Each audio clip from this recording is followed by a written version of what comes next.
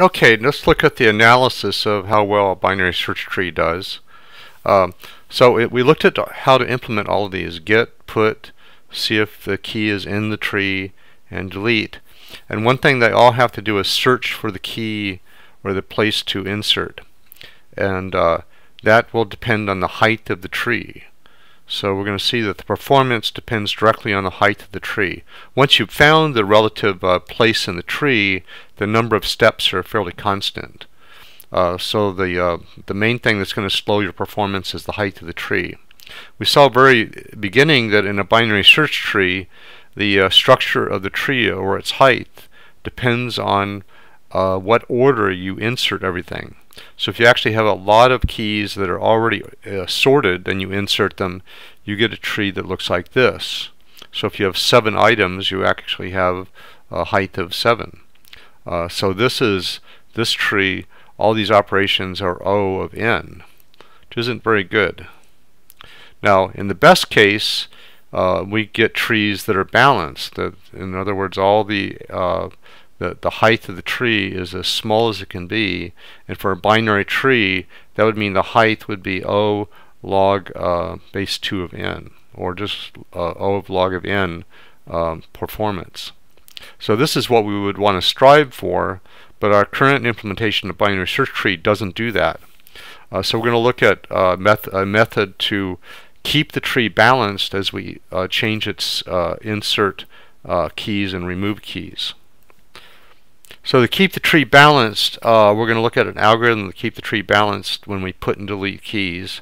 We're going to study what's called an AVL tree, uh, which is named for its inventors, um, uh, GM Adelson, uh, Bileski, and E.M. Landis. So they basically took the uh, their initials of their name uh, there are other trees that will keep things balanced. So here's a list of other trees that you can uh, look at that keep things balanced. Another one that's studied in computer science classes quite a bit is the red-black tree.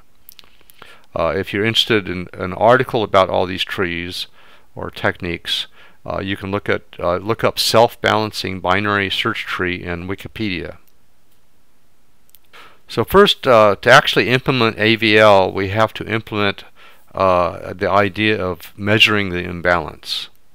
So we're going to introduce a balance factor which is going to measure for every node what whether it's balanced or not. So what we're going to do is we're going to look at the for a particular node we're going to look at the height of the left subtree under that node and the height of the right subtree and we're going to subtract the heights. So we're basically going to take the left and subtract the height of the right. Uh, so if you just have a uh, node with no subtrees, the balance factor will be zero. So I'm showing the balance factor here. Uh, here's an example. If you have only the left side, so we have height of 1 on the left minus the height of the right, so that's 1 minus 0. Uh, 45 node here would have a balance factor of 1. If you have the uh, tree on the right, subtract the subtree on the right is longer or taller than the one on the left, you're going to have a negative uh, balance factor. So in this case, we have one a balance factor of 1 versus a balance factor of 2. So 1 minus 2, you get minus 1.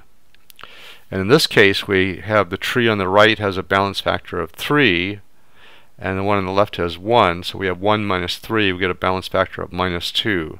So I've highlighted this in yellow, indicating it's, it's not balanced.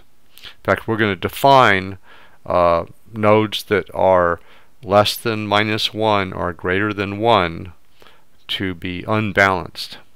They're, they're the ones we're going to be concerned with.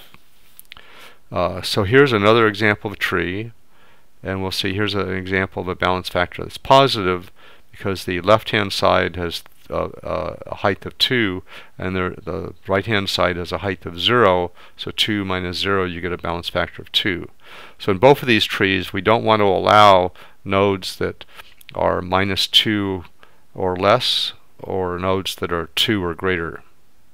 So the book goes through some math to show you this which I'm not going to go through on the video lecture. Um, but if you keep the trees so no node is more than one out of balance uh, you you can follow the the math in the book, but basically they arrive at uh, a formula using the Fibonacci sequence, which is interesting, which uses the golden ratio. And so they get the height of a AVL tree will be 1.44 log n.